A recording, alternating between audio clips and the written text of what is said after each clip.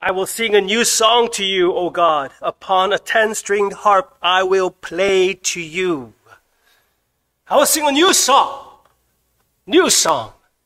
Again and again in the book of Psalms, it speaks of a new song to sing to the Lord. Now, what does that mean?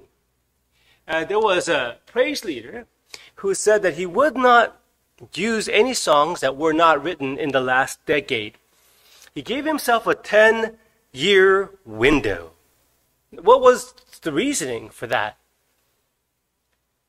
Because a new song? Well, he never mentioned the Bible. Actually, when he gave any kind of reason at all, although he, he thought it was obvious, he wanted to be current. He wanted to be relevant. I think we need a thicker, a better reason uh, to keep a 10 year window. And a new song here doesn't simply mean new. When you read uh, verses like this that you might, you know, just, just on the surface level take to heart, oh, I gotta sing a new song. I gotta learn a new song. I gotta write a new song. That would be the application. Let's read it in context. What does he say? I will sing a new song to the Lord. Oh, by the way, this is 144. Psalm 144, verse 9. Psalm 144, verse 9. I will sing a new song to you, O God. On the 10 string harp, I will play to you. Uh, you could say six string guitar. Why not? Who gives victory to kings, who rescues David, his servant, from the cruel sword. It is for victory, new events of victory that God gives.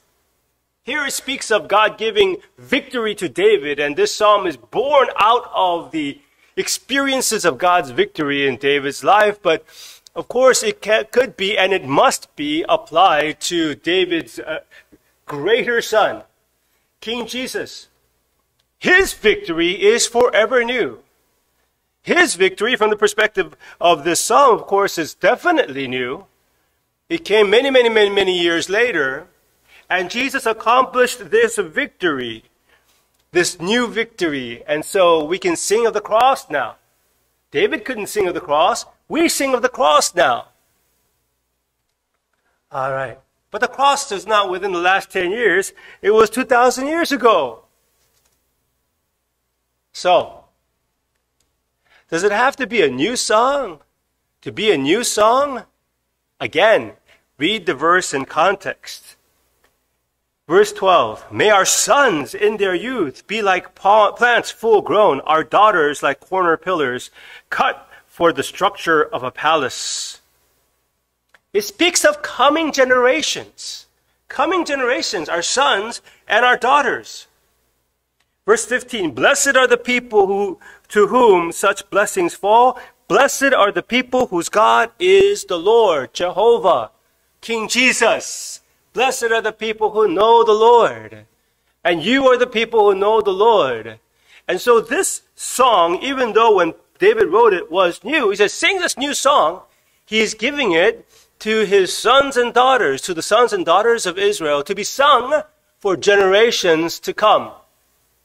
A new song that is sung for generations to come. Jesus died on the cross 2,000 years ago and rose again from the dead and gave us this victory. And thousands of years later, we are still singing that new song. But we are singing it in renewed ways in renewed ways. The New Testament passage that I think of when I look at this I, is uh, Romans chapter 8 once again. We are more than conquerors through him who loved us.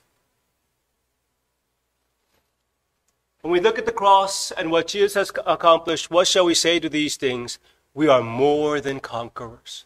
All the obstacles the Lord, the Lord allows, all the obstacles thrown in our way by the enemy are meant to be food for us. And these are opportunities for fresh victories. Maybe there are areas of sin in your life that have been a plague to you, that have stunted your growth in the Lord, or so it seemed. It has been a constant struggle your entire life. But what have you learned from that struggle? You have learned to lean upon the Lord.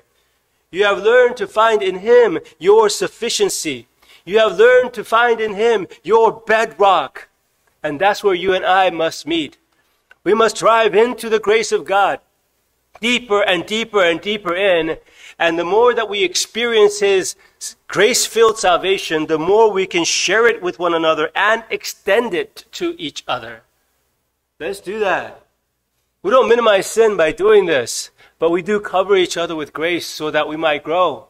And those sins can be overcome, just as there were also other many lifelong habits that the Lord has delivered you from.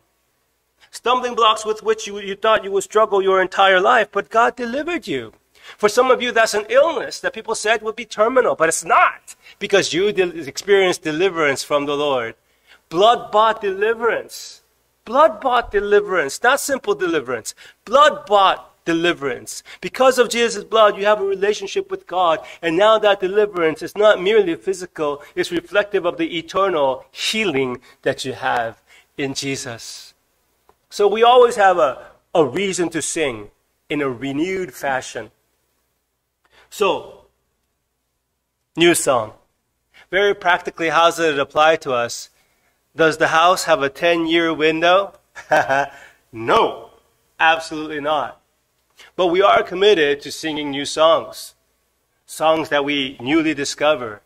You know, um, yes, I want to sing the current songs, and they are rich, and yes, they are applying. The same gospel is being applied to a new generation.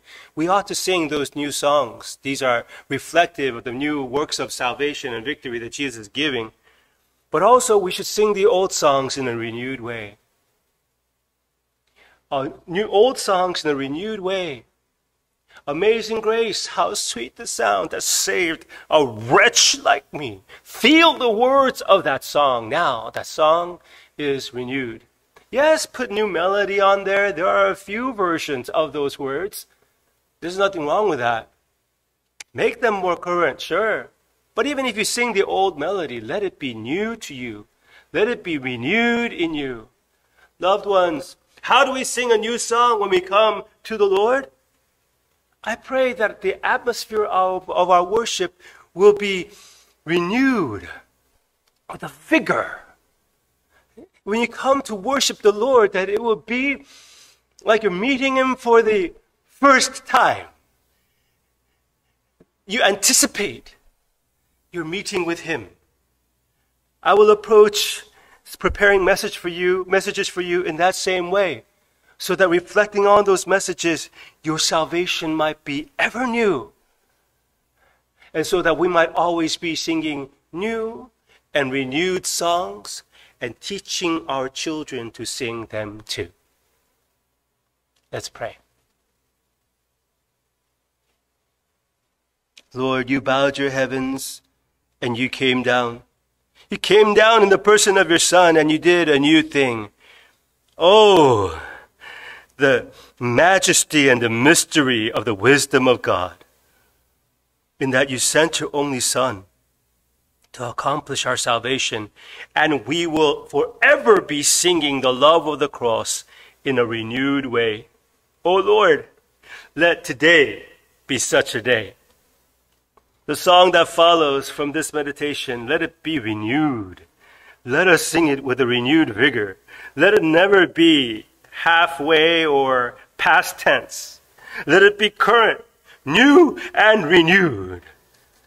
All of us with hearts fed and on fire. You deserve nothing less. Blessed are the people whose God is King Jesus. In his name we pray. Amen.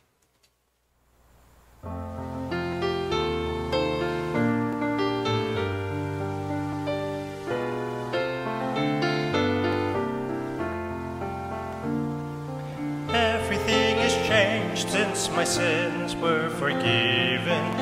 Everything has changed since I knew the Lord. Now my feet are walking the pathway to heaven. All the guilty past now is under the war blood. Everything is changed, praise the Lord.